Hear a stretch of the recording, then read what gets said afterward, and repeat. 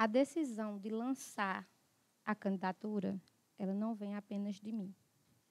Vem dos meus amigos, dos meus familiares e posso até dizer de uma parcela da sociedade que vem me influenciando a tomar essa decisão.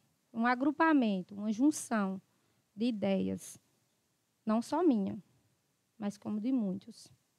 E eu acho que a contribuição para com a população através do legislativo não não vai partir apenas desse momento, dessa decisão. Porque como você mesmo falou aí, há 11 anos eu venho desempenhando atividades junto ao município. E o que isso significa junto ao legislativo?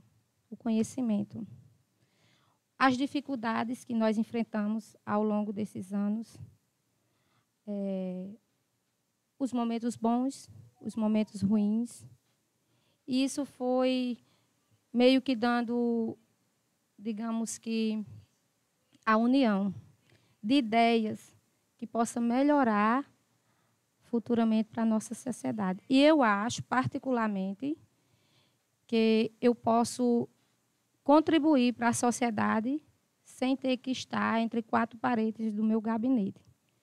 Porque hoje eu considero que eu já contribuo para a sociedade, mesmo estando lá, dentro, entre quatro paredes. Porque ao longo dessa jornada, quem me conhece sabe que eu nunca me neguei de atender a população, não mesmo sendo o meu dever.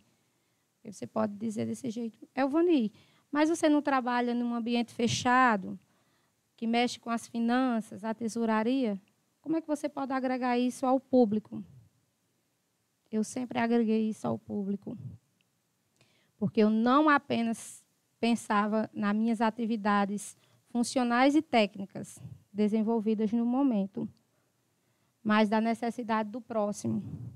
E quem sempre procurou Elvani, mesmo estando ocupada, tendo que desempenhar suas atividades laborais do dia a dia, ainda tinha um tempinho para escutar, para anotar e para buscar a ajuda daquele que sempre me procurou.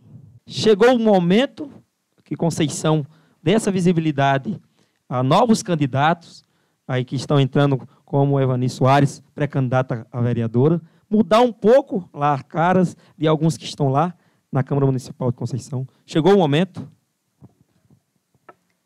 Posso dizer que sim, chegou o momento. Mas volto ao assunto anterior do povo, não é isso?